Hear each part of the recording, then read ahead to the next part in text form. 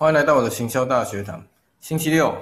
今天我们准时播放我们的行销大学堂。那今天就有下午跟人家讨论了一个一些行销议题，然后其实早上也是最近就有一直有学生在跟我讲一件事情，说老师你在在因为我在一些地方有教 Google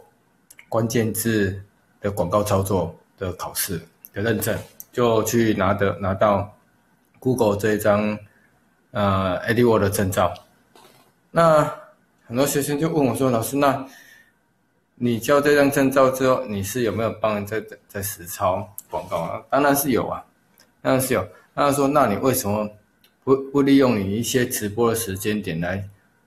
教一下我们？因为他们教。”证照的时候是比较偏向于考试考试的模式的，因为他们主要是要取得这张证照，那里面会带一些实作的课程和，课程，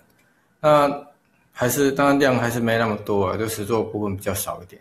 那他们就说，那我可不可以利用一点，我利用我一个直播的时间点，来教他们一些呃广告文案的写法的一些重点跟技巧，因为在 Google 里面的关键字写法、关键字广告写法里面，它有很多种嘛。那它也里面其实我们在教过程中也是有跟你讲过，说在 Google 在关键字的做法里面要遵守 Google 哪些哪些议题、哪些政策规范，哪些是可以做，哪些是不可以做的。那账面上、规范上、文案上会有一些例子让他们来参考，但是有些我们还是要有些个案个例或者一些新的手法。都要来来做，那但是其实 Google 的文案，我说 Google 文案里面有两大主题，有两大类，一个是搜寻搜寻广告的做法，一个是多媒体广告的做法。然后现在强调又是有行动广告，就手机广告，那另外一个就是影音广告，这几种做法就还是差别很大了。那学生在跟我讲，我也知道说 OK 啊，那我就会利用一些。一些时间点利用，呃，可能我设计一下，利用哪一哪一天每哪礼拜的哪一天，来专门来想一下，就那一天来讲一下这些文案的一些写作技巧。然后，但是讲他们的，Google 有 Google 的做法，FB 有 FB 的做法，这是还是有一点差异性，还是有点差异。但是要吸引吸引消费者，吸引你潜在顾客能能达到你。看到你的东西的话，其实我们在讲创意点是有，但是规范还是有，重点还是有啊。每个人不是都很有创意啊？每你的广告文案不是每个都非常有创意啊？但是还是有一些规范，有一些规矩，有一些重点，要如何让你使用者停下眼睛注意看着你，这都还是有技巧的，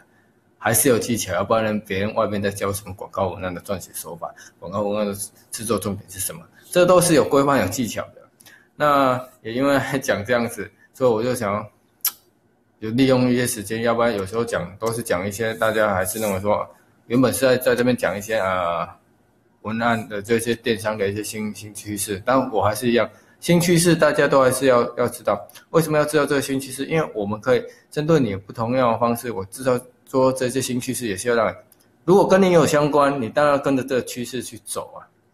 而不是傻傻的，人家都已经。改变了什么方向？你还傻傻的在那边上面摸索摸索你的旧有的方式，嗯，人家已经用一方一分钟可以赚一百块，你还在用一百块一一百分钟来赚那一块钱。而技巧这技巧跟技术跟跟这些平台的使用趋势还有使用规范，这是一个很重要的点。你要能及时的去修正改正，要符合他们。所以我为什么要也是要把这些趋他们的一些新的规范，或是新的趋势，或者一些新的环境。也是要列为重点的，也是也是要这样子。那文案这一边原本是想说会开课了，我会开课后面，呃，Google a d w o r d 的这个证照课程，我我也会再把它开起来。因为 Google Analytics 的现在已经在制作了，然后 a d w o r d 这一块文案写作这一块会把它弄出来。那 Google 为什么要我之前说为什么要从 Google Analytics 来做？是因为如果你有网站的话，你要先懂这一块。那如果你不是只有网站的，你只是想要卖广告的话，那 OK，Google a d w o r d 就可以。那因为需求性不一样啊，以我的出发点，以我的出发点，我是认为呃，Google Analytics 是比较困难一点，但是它是相对的是一个基本元件。那你懂它，你来操作 Google AdWord 广告购买就很简单。那懂了 Google AdWord，你来懂 LB 的广广告操作就有得心应手。OK，这就是我们一些我课程的一些规划。那会尽快啊，Google AdWord 的课程上上加上去让大家来选。那文案的写法，我会再安排说是每个礼拜几，我来做一些文案写法的教学。啊，是就提点一下，就是哪些你在做一些事情的话，有哪些方式是要去注重的，然后再来就是可能会，呃，讲一些好的文案案例来让给大家分享。OK，那今天就先讲到这边。我们我规划什么时候开始来讲这个文案的时候，我会在 LB 上面去公告，让大家知道。那我们就讲到这边，拜拜。